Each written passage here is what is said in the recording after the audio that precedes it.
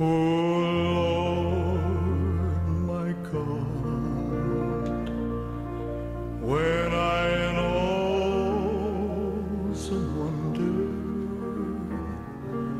consider all the thy hands have made, I see